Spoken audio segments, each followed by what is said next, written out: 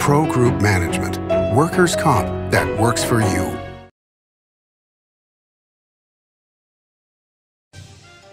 Welcome to Nevada Newsmakers on the broadcast today. It's an all pundit show with Bryan Wachter of the Retail Association, Matt Robinson from Argentum Partners, and former state senator Patty Farley. It's all coming up next on an all new Nevada Newsmakers. Hello, is this D&D Roofing? Yes, it is. How may I help you? You did such a great job on my roof. May I speak to the owner? I am an owner. Oh, can I speak to your supervisor? Sure. How may I help you? I love your work. May I speak to the owner? I am an owner. We're all owners. Well, that's why at D&D we work so hard to keep your home safe and sound. Oh, no wonder. D&D Roofing and Sheet Metal. Local, employee owned, here for you. Retail's impact on Nevada's economy? Enormous. 8,600 businesses, large and small, employing 145,000 workers.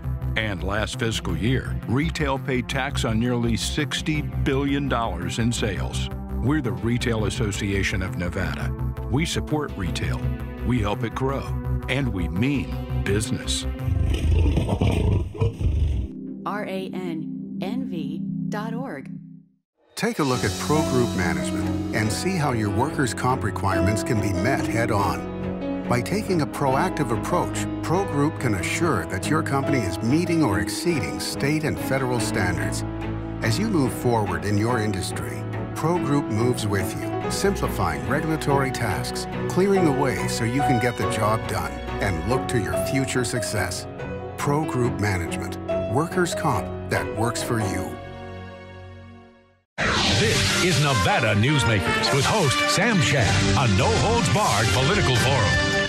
Now, from the Nevada Newsmakers broadcast headquarters, here is Sam Shad. And back on Nevada Newsmakers, we have an all pundit show going today with a great lineup. Former State Senator Patricia Farley is with us, Bryan Wachter, Senior Vice President of Government Affairs for the Retail Association of Nevada, and Matt Robinson with Argentum Partners. Pleasure to have you all with us. Um, as we're starting the uh, Democratic Convention this week, uh, former Senator Farley, uh, your thoughts as we head into this convention? Um, I, you know, I I'm excited to see what um, they put forward, um, and I, as far as their overall plans and their ideas, because I don't think that that's really come through yet to the general public. Is what is a Biden pre- presidency about? Um, what kinds of hopes and changes is, is he planning to um, present and to bring about the American people? So I, I'm very much wanting to hear from the Democratic Party on what the plan is. Um, Bryan, that's rather interesting to hear a uh, Democratic senator now, or I guess an independent senator, but uh, who caucused with who caucused with the Democrats, saying that at this point in time she doesn't know um, what the Democrats' plan is. How does that strike you? Well, I, I, think you know there's certainly been a lot of confusion and a lot of you know extracurricular activities during this election going on, and I think it's it's often hard to be able to pinpoint and spend some time thinking about these topics individually.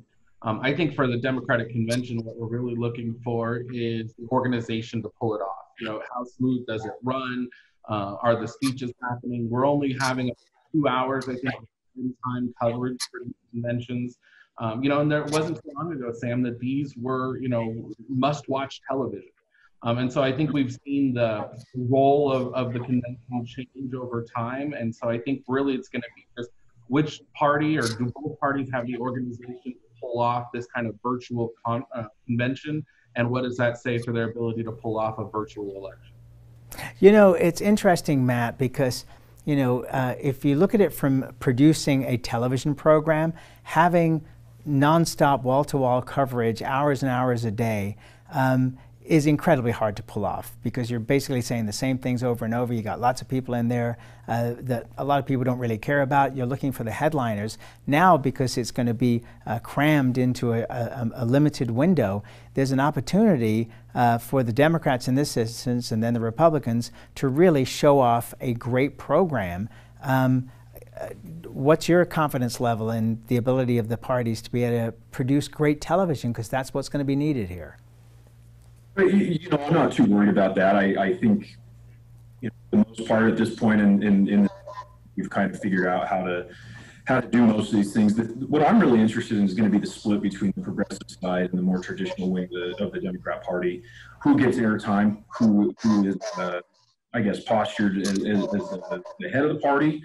Um, I, I, read that it looks like AOC or Alexandria uh, Ocasio Cortez is only getting about 60 seconds, um, which is interesting given that she's kind of the um, at least the public standard bearer of that that new wing of the party. So I'm going to be watching that kind of the the breakdown of of, of who's actually given time to speak. But I, think we're going to be just fine in, in terms of streaming and, and, and having a good program. Um, Senator Farley, it was interesting on the Sunday shows to see um, Bernie Sanders. Um, it seems like there's obviously been a great deal between him and Joe Biden um, as to uh, Sanders' position. He's not going to get everything he wanted, but he's, it certainly appears that he's going to have a strong role here. Uh, what's your thoughts on that? I think that the Democrats have to um, appeal to that base and keep that base on board. Um, what Bernie did with his followers is pretty tremendous, um, and his followers are, um, are very much um, in line with him and support him. And I, I, really think that it's smart for Joe Biden to reach out and have that relationship with Bernie. But um, it'll be interesting to see whether or not Joe's able. And that's I think what I'm waiting for from the Democratic convention is to see how they're going to mesh both sides of the fractions of their party together and come out with a moderate appealing plan that not only appeals to the Democrats, but also could potentially sway Republican voters to vote um, for a, a Biden Harris ticket. And I think that's going to be the most interesting piece to watch for as the convention plays out. Um, Kamala Harris, uh, uh, Bryan, um, what, what role does she play in this? Because, you know, with perhaps the exception of Sarah Palin, uh, vice presidential nominees have not really been big players. Um, your thoughts on her?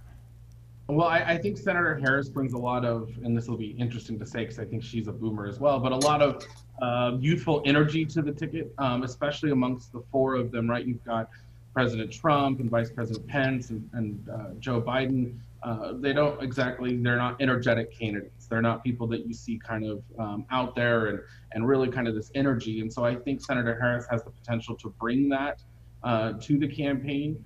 Um, i think she also um, it'll be interesting to see to senator farley's point how the harris presidential campaign issues match up with the the biden for president campaign issues there are some differences when it comes to tax policy um, that haven't been reconciled yet there's some differences when it comes to some criminal justice issues. Um, and so it'll be interesting to see what role Senator Harris is going to play and what kind of vice president Senator Biden or Vice President Biden envisions for her. Um, Matt, you know, in, in traditional, um, you know, runs, um, whoever becomes the vice president or vice presidential nominee uh, tends to fall in line uh, because they've agreed to be on the ticket. Do, do you think that's going to be the case here, or do, are you expecting fireworks uh, coming from Senator Harris? Uh, I don't know about if fall in line is a good way to put it. Um, I don't think she's the person that, that really does that. Um, I, I, think you see a more collaborative uh, ticket with these two. I think she's a strong candidate. Um, I, I do think there are going to be some issues uh, brought up that are that are valid about her past experience, especially given the conversation that's going on nationwide right now. Um, I think that's to a certain extent is a liability that um, that you know their team is either going to have to address right away or, or hope it hope it goes away. Um, but no, I, I, I, don't think she's a, a, fall in line type of person, and I and I think he probably chose her for just that reason. Um, so we'll see what comes of that. All right. Well, we will look for some fireworks. Let's take a break. We'll come back with our All Pundit show after this timeout. Safety. We all think about it. You think about it when he buckles in, when you check your mirrors and put away your phone. RTC thinks about safety too. In fact, we create it. Center turn lanes mean fewer blind spots. Bike lanes keep cyclists and you safe. Roundabouts reduce injury collisions. And all these crosswalks are designed to keep families like yours safe. Safety is your priority, and it's ours too. Every day, in everything we do. Ahern Rentals began as Signal Gas Station on Las Vegas Boulevard. Founder John Ahern grew the business by offering rentals. His son Don built on John's legacy, growing Ahern Rentals into the largest independently owned American rental company with 89 locations in 30 states. Don also brought his experience and vision to equipment manufacturing with Xtreme Manufacturing and Snorkel. Today, Ahern Rentals continues to bring its family values to a new generation. Learn more at ahern.com. Hey guys, are you watching the game at a friend's or the bar again because you can't watch at home with your wife? Or worse, because she kicked you out and kept your couch, your flat screen, and your kids? What's the one thing a man needs when he loses a good woman? A good lawyer. And when he loses a bad woman, he needs a great lawyer. What makes a good woman a bad woman? You tell me. You're the one that can't watch the game in your own home. I'm men's rights attorney Marilyn York, and I represent men in divorce, custody, and family law matters. The signs and symptoms of cataracts can start out small with subtle changes in your vision. So don't wait. Be proactive and take your vision into your own hands. If you're experiencing the onset of cataracts or just have questions, contact your eye care professional or call Eye Care Associates of Nevada today. Dr. Hiss has years of experience specializing in the surgical correction of eye disorders and has completed over 84,000 vision correcting procedures. At Eye Care Associates of Nevada, we'll change the way you look at the world. This is Nevada Newsmakers.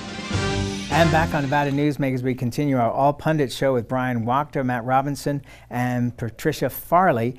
Um, Matt, let's talk about what's going on at DETR. I mean, if there's ever been a state government disaster, this has to be it. Uh, what it, are, are, you optimistic that this is going to get resolved anytime soon? Um, Well, I think you know, I think uh, Elisa Cafferata, uh, you know, coming to the table, I think that'll help. Um, but I, you know, I'm I don't have have rosy projections for that. I, I think you had you had a a system that was probably kind of ripe for issues anyway. Um, and, and, then given the, the, the, current situation, I, you know, I, I think Heather Korbulic did a, had a, made a valiant effort. She was a she was a great person to have at the you know uh, steering the ship for a while there.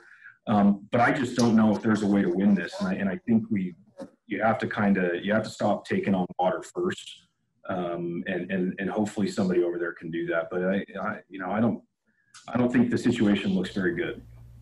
You know, Bryan, one of the things that Nevada is famous for is being thrifty in terms of its government. Um, but are we looking at a situation where we actually do need to spend money uh, to update computer systems uh, when we get into situations like this, um, that it isn't a crisis? Well, I, I, think you could say that fairly across every state agency that we have. IT infrastructure is something that we don't invest in. Most departments and agencies can't talk to each other, much less talk to their local counterparts. Um, and so it doesn't shock me at all that, that DETR's having some growing pains.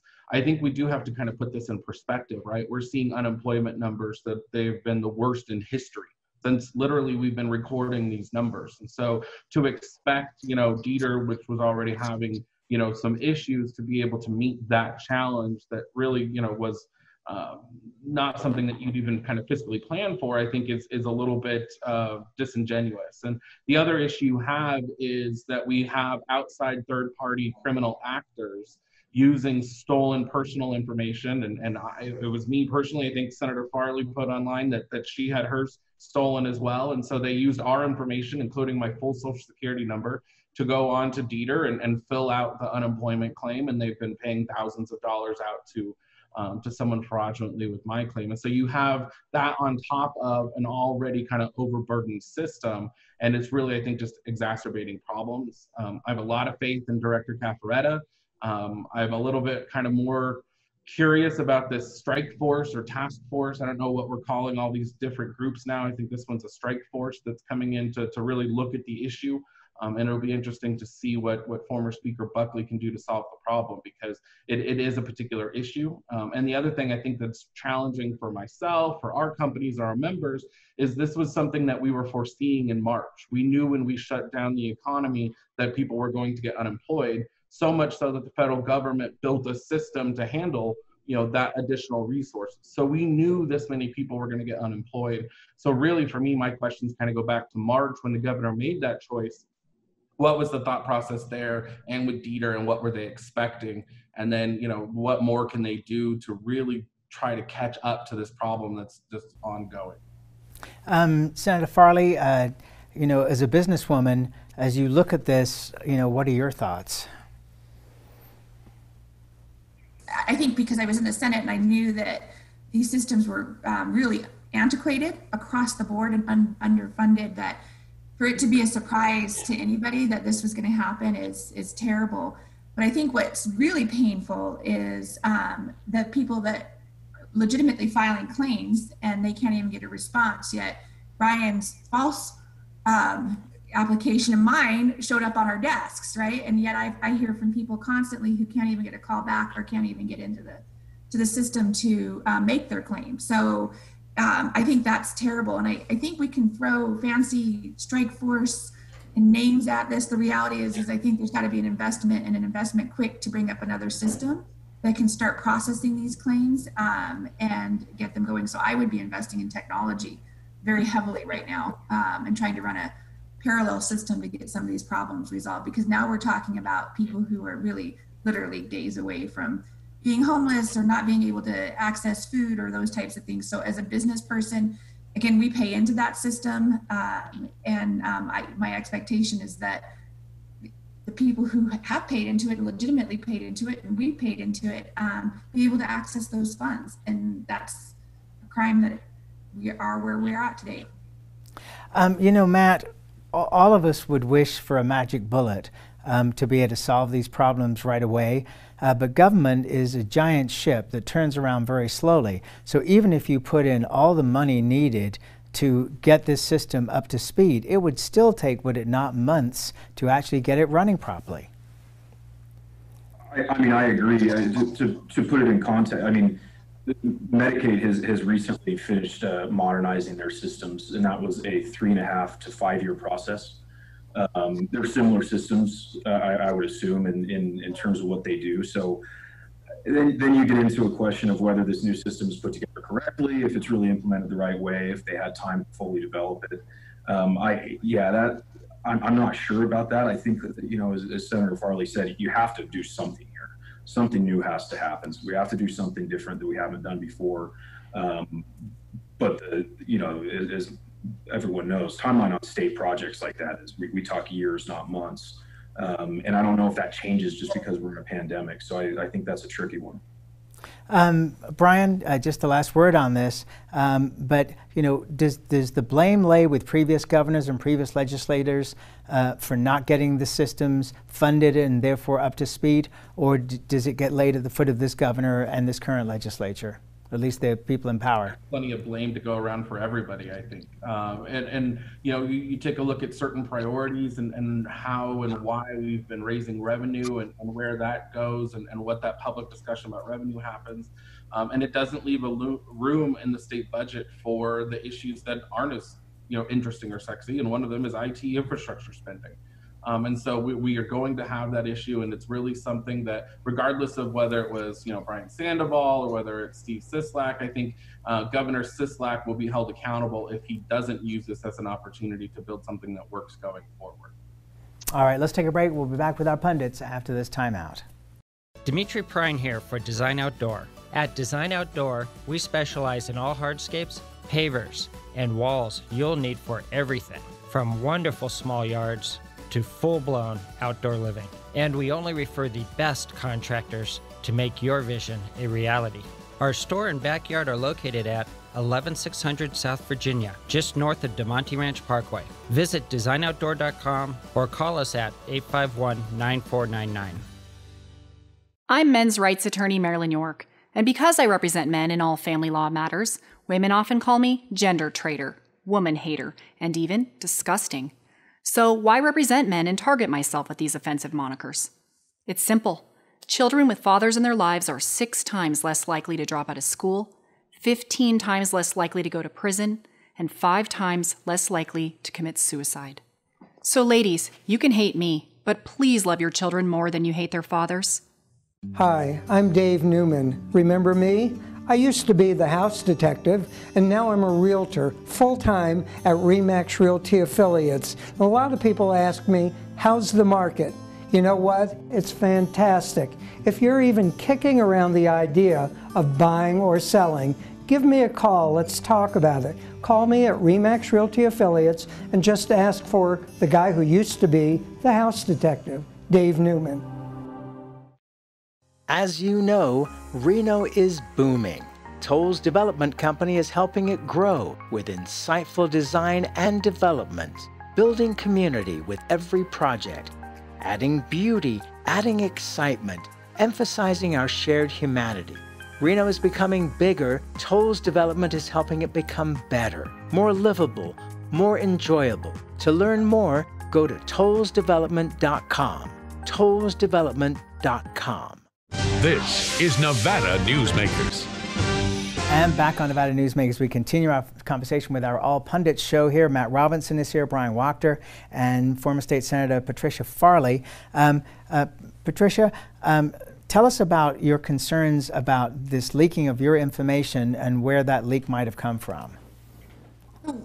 You know, I, I mentioned earlier that we have um, friends that can't even get somebody on the phone to process their claim, and then here's my claim in my own hands. I'm, I own a business, and um, and the claim has my correct address, the correct spelling of my name, my social security, my birthday.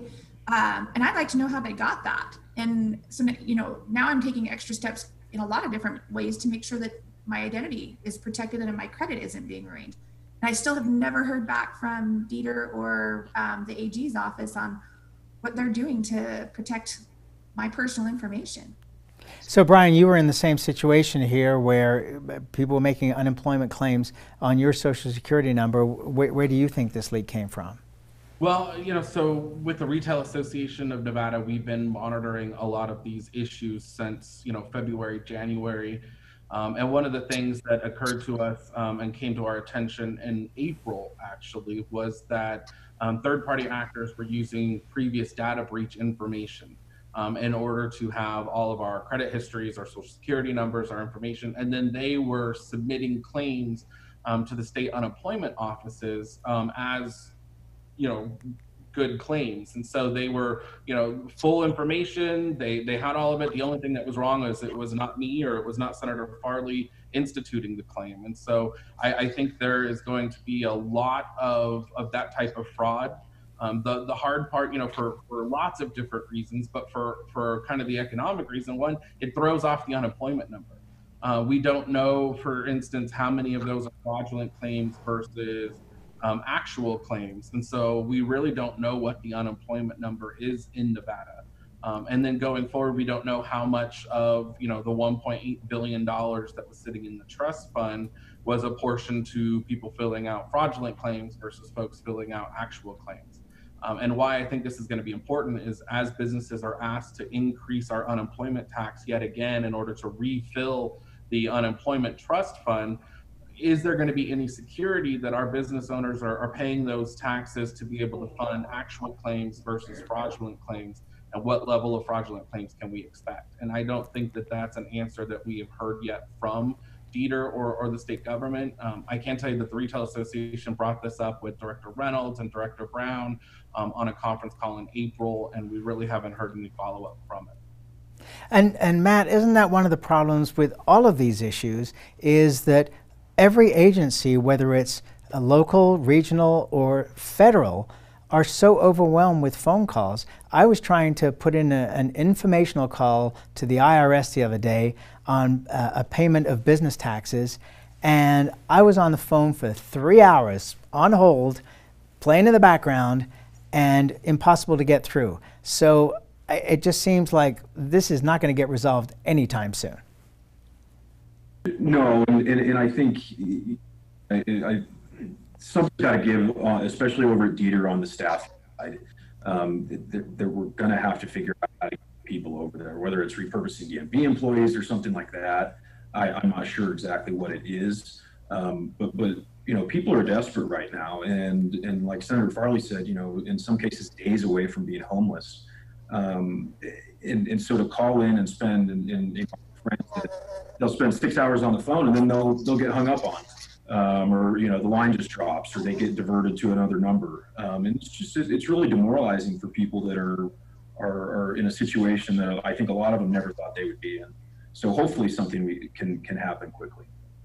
Um, you know it was interesting as I was, as trying to work with the Treasury website uh, I finally got into it. I worked through to every single question that they asked and then finally got to the last page and it aborted my my whole plan.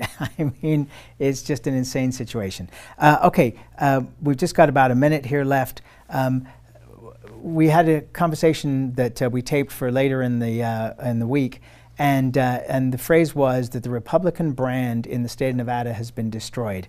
Bryan, is that a phrase that you would agree with? I, I think destroyed is strong, but um, it is certainly in trouble. Um, and and there are, I think, some immediate steps that need to be taken to rectify that um, if the Republican Party wants to have a viable future. Okay, quick response, Patty. Um, I don't think destroyed, but I, I, definitely think they have to get it together um, and come up with a plan that's more appealing to more members um, and, and win elections. I, um, I think both parties bring something very valuable to the table, and I, I think the Republicans got lost somewhere.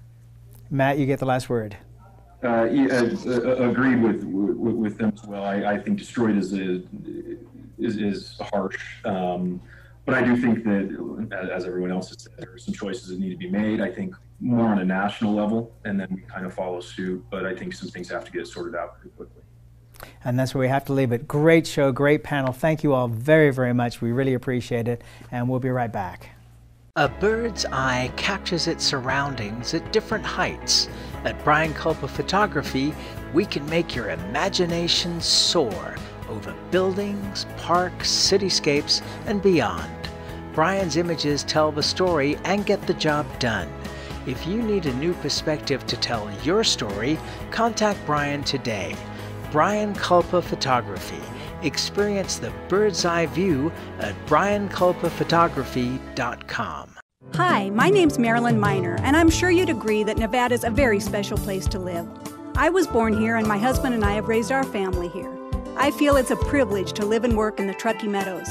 I especially enjoy helping my clients reach their real estate goals. Sometimes the smallest details provide the greatest satisfaction. I'd be complimented to talk to you about your next move. Call Marilyn Miner at Dickson Realty, 742 1280, or log on to marilynminer.com. Safety. We all think about it. You think about it when he buckles in, when you check your mirrors and put away your phone. RTC thinks about safety too. In fact, we create it. Center turn lanes mean fewer blind spots. Bike lanes keep cyclists and you safe. Roundabouts reduce injury collisions, and all these crosswalks are designed to keep families like yours safe. Safety is your priority, and it's ours too. Every day, in everything we do. Pro Group Management is the place where companies can find workers' comp solutions that are designed to meet their specific business requirements. As regulations evolve, Pro Group takes a proactive approach to clear the path to make sure your business stays ahead of the curve. Knowing your workers' comp program is optimized, you can focus on other important matters related to your growing business. Pro Group Management, workers' comp that works for you. You can now watch Nevada Newsmakers on YouTube. Just go to YouTube and search for Nevada Newsmakers and become a subscriber. We'll see you on the next broadcast. Thanks for watching and listening.